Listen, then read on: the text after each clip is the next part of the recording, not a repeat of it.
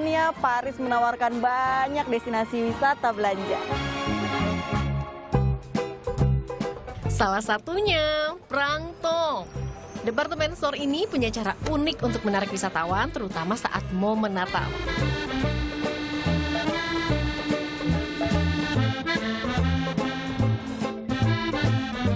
Untuk mendisplay produknya, Prangtong menggandeng banyak seniman, salah satunya Halaris yang apik dalam menggabungkan seni artistik, modern, dan digital. Salah satu hasil karyanya seperti di belakang saya ini.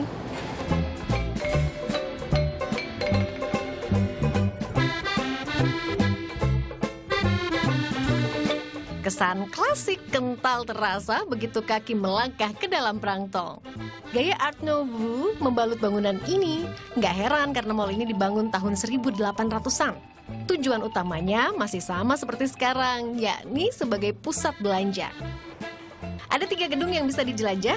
Masing-masing tawarkan mulai dari pakaian wanita, pria, anak, hingga home decor. Dengan berbagai kemewahannya, pusat belanja ini mampu menarik wisatawan hingga 8 juta orang dalam 6 minggu pertama setiap seasonnya. Berlokasi di Boulevard Haussmann, Paris, Prancis, Prangtong buka setiap hari mulai jam 10 pagi sampai 8 malam.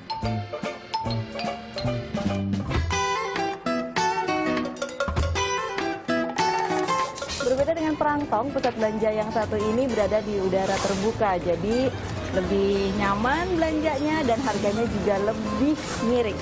So, selamat datang di La Vale Villa. Lokasinya emang sedikit jauh dari Paris, tapi banyak sofaholik yang sengaja datang jauh-jauh ke sini untuk berbelanja. Gimana nggak tergiur ratusan gerai di pusat perbelanjaan ini, mulai dari produk asli Paris hingga brand ternama dunia, siap puaskan hasrat belanja Anda.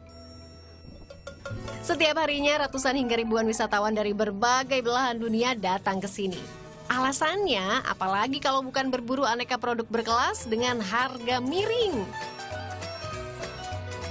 Yap, La Valley Village jadi sasaran karena menjual aneka produk dengan harga lebih murah 30-50% dibanding gerai atau mall di Paris.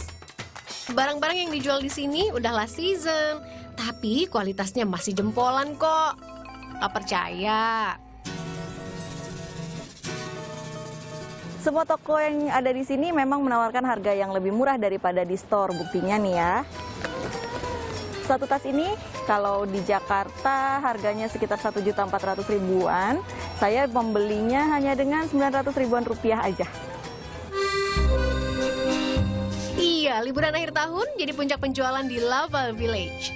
Dari catatan pengelola, seluruh penjualan berasal dari wisatawan asing.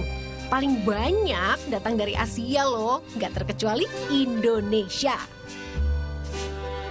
Karena harganya murah banget emang sih. Sekarang aku ngerti kenapa orang Jakarta senang banget ke sini, orang Indonesia senang banget ke sini. Tadi banyak juga orang-orang Malaysia uh, karena emang harganya murah dengan kualitas yang udahlah kita udah tahu kan ya.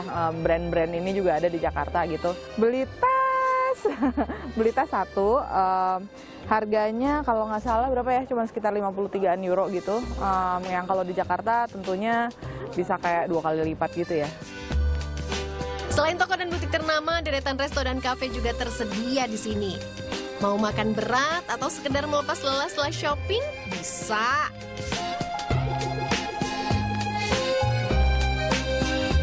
La merupakan bagian dari Chic Outlet Shopping, yaitu kumpulan outlet yang juga ada di London, Milan, Barcelona, dan Shanghai.